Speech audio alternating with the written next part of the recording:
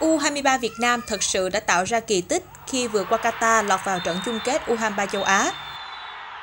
Bình luận viên Quang Tùng cho rằng U23 Việt Nam vẫn có 50% chiến thắng.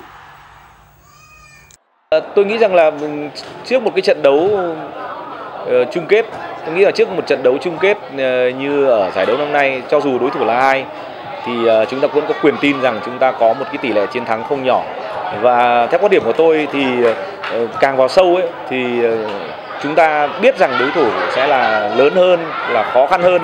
Nhưng ở chiều ngược lại thì ờ, chúng ta cũng trưởng thành hơn, có niềm tin lớn hơn và đối phương cũng phải dè chừng chúng ta.